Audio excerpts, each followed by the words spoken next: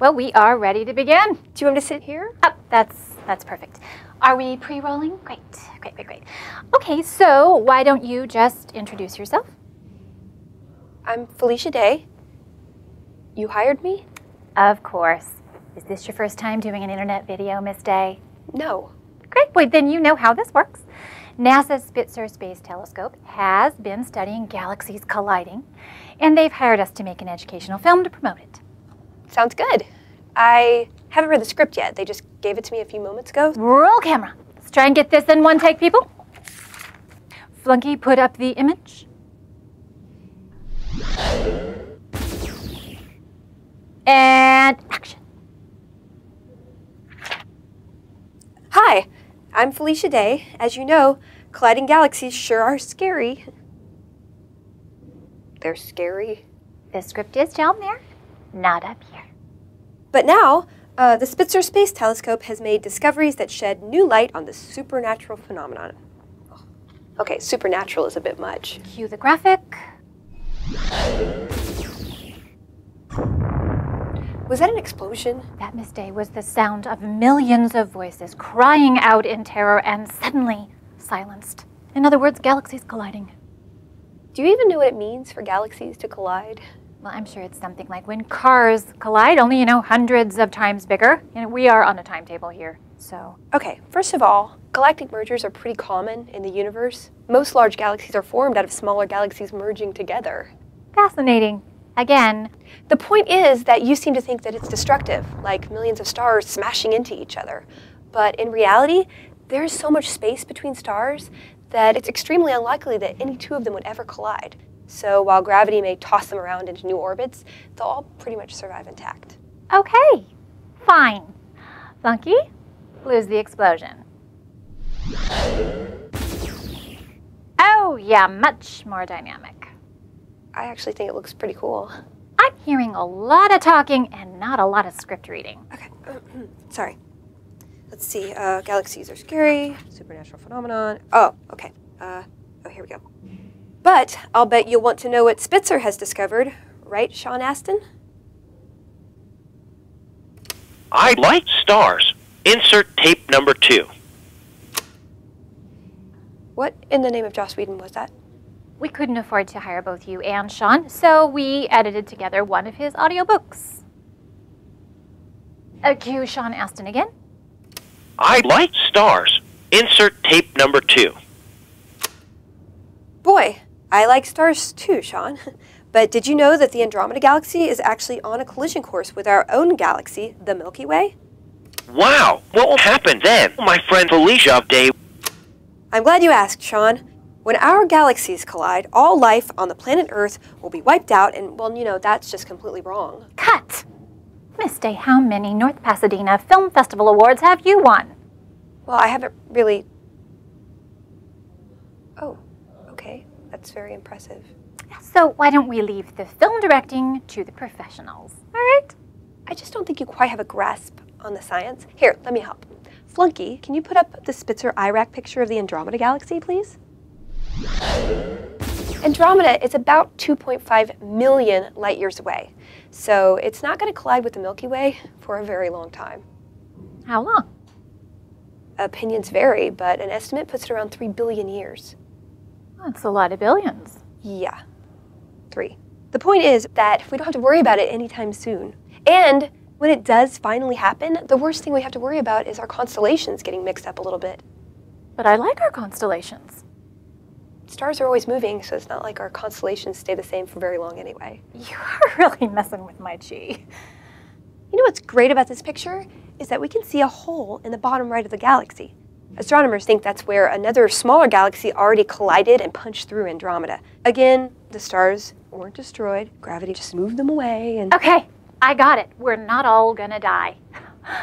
Once again, Felicia Day sucks all the excitement out of our film. Oh, I didn't mean to do that. You know what? We'll, we'll, we'll pick up on page three. Let's go, people. We are losing daylight. You know we're indoors, right? Action. Uh, Uh, oh, no. Oh. But when but what happens to the central cores of galaxies when they collide? Do they blow up? Felicia Hi, I'm Sean Astin. No, they don't blow up, Sean. But some people believe that the two supermassive black holes in the centers of these galaxies will try to consume each other, creating a time paradox. Okay, is there really anybody who believes that? Oh, please. Felicia Day, correct us once again. That'll be so fun. There might be supermassive black holes in the centers of some galaxies, but they're not going to create time paradoxes. Like anyone's going to journey to the center of the galaxy and prove us wrong. Okay, let me show you something. Flunky, can you put up an image from Dr. Henrik Spoon's research? This is an artist concept of something that Spitzer discovered a little while back. Spitzer detected the formation of tiny crystals in the centers of some galaxies. Crystals? Like diamonds? More like crushed glass. It was the first time that silicate crystals had been discovered in a galaxy outside our own.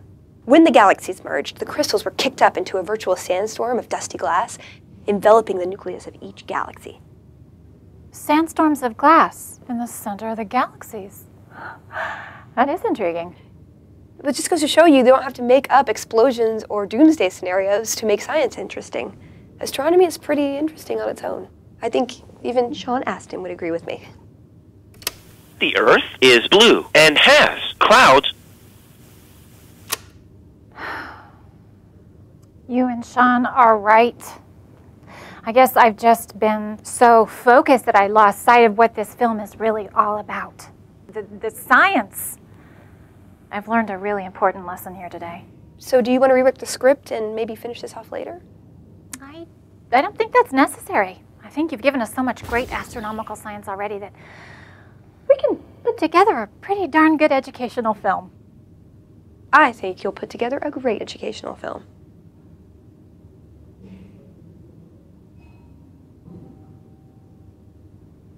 Do you validate? Good evening, and welcome to the world premiere of our film, produced for NASA's Spitzer Space Telescope. Now, for those of you who read the original script, this, um, this final product may not be exactly what you're expecting, but I, I think you're going to enjoy it just the same. After all, who doesn't like Felicia Day, huh? And, uh, and Sean Astin, he's season it too, kinda. And we are, um, as you may have heard, having some issues with the Spitzer Space Telescope people not wanting to use our film. They say it's too sensational or something. I'm sure we'll come to some arrangements soon. In the meantime, Funky, if you wouldn't mind just going ahead and rolling the projector.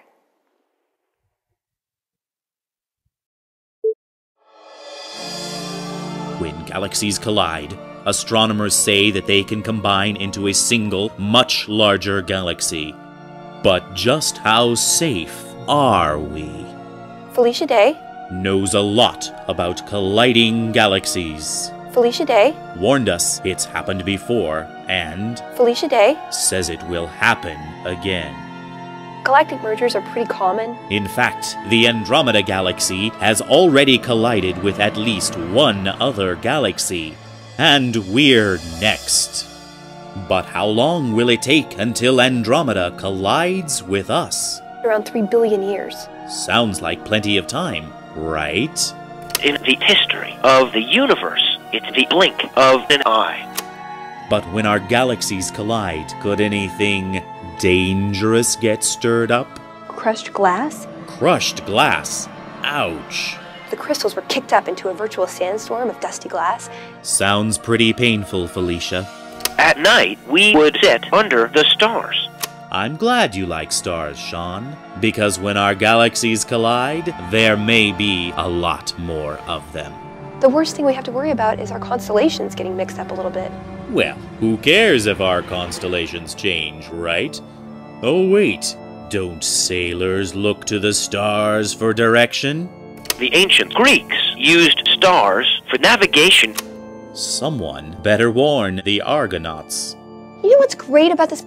Not a whole lot, Felicia. NASA's Spitzer Space Telescope. We're up in the sky watching. Always watching.